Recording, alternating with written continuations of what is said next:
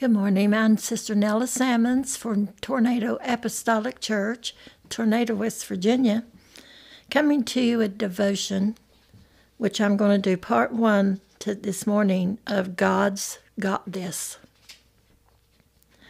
When situations arise, especially when they arise for someone else, we're quick to try to give words of encouragement. We'll often say, Cheer up, God's got this acting like it um, is the catch all fix all statement. That is not true, according to the Bible. So many times when situations arise, especially when they arise for someone else, we're quick to give words of encouragement. If a person is depressed, or we often uh, will say, Cheer up, God's got this. If they are facing a sickness or illness, we will say, We know God is a healer and God's got this. During times of bereavement, we will try to encourage people and say God never makes a mistake and God's got this. Many times we use this phrase acting like it is the catch all, fix all statement. We will tell that to everyone in every situation and unfortunately, that is not true according to the Bible. Ephesians 1 and 3 says, Blessed be the God and Father of our Lord Jesus Christ, who hath blessed us with all spiritual blessing in heavenly places in Christ. Understand there is no spiritual blessing left outside of Jesus Christ. No spiritual blessings may be received outside of Christ. Now, someone may say, but what about Matthew 5:45, which says that ye may be the children of your Father which is in heaven, for he maketh his sun to rise on the evil and on the good, and sendeth rain on the just and on the unjust.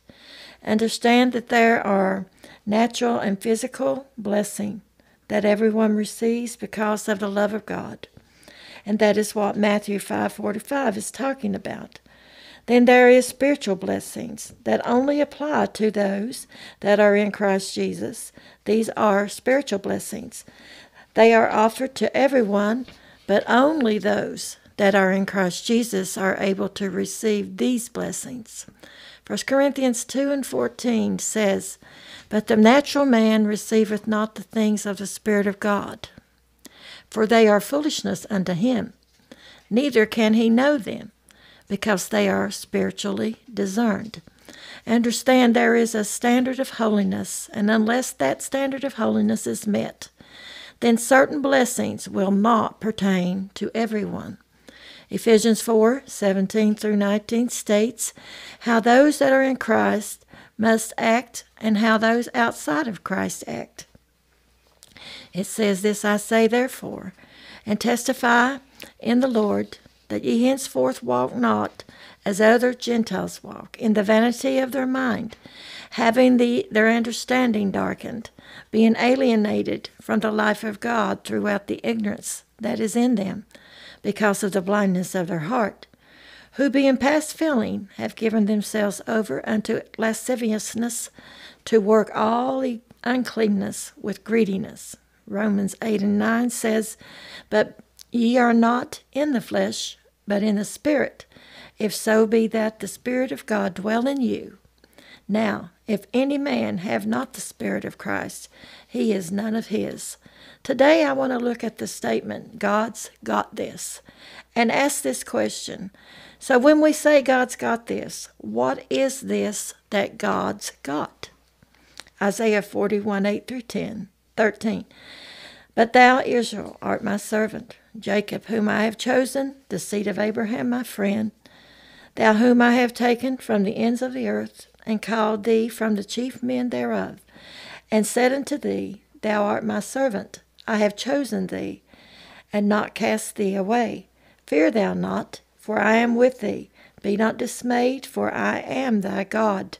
I will strengthen thee, yea, I will help thee, yea, I will uphold thee with the right hand of my righteousness. Behold, all they that were incensed against thee shall be ashamed and confounded. They shall be as nothing, and they that strive with thee shall perish. thou shalt seek them, and shalt not find them. Even them that contended with thee, they that war against thee shall be as nothing, and as a thing of naught. For I, the Lord thy God, will hold thy right hand, saying unto thee, Fear not, I will help thee. We must understand who and whose we are. Isaiah 41 and 8 says, But thou, Israel, art my servant Jacob, whom I have chosen, the seed of Abraham, my friend. Then he makes a prophetic and an eternal statement the seed of Abraham, my friend. Who is the seed of Abraham? Now, notice that word seed is singular. There is no S at the end of it. So, it, who is the seed of Abraham? Remember, the Old Testament is the New Testament hid, and the New Testament is the Old Testament revealed. So let's go to the New Testament for Revelation. Galatians 3:16 says, "Now to Abraham and his seed were the promises made.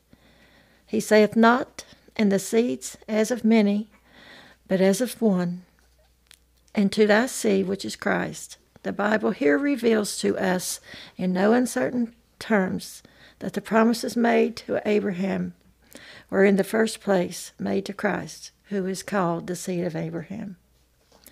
I will continue this lesson uh, the next time. In Jesus' name I pray. Bless those listening today. Amen.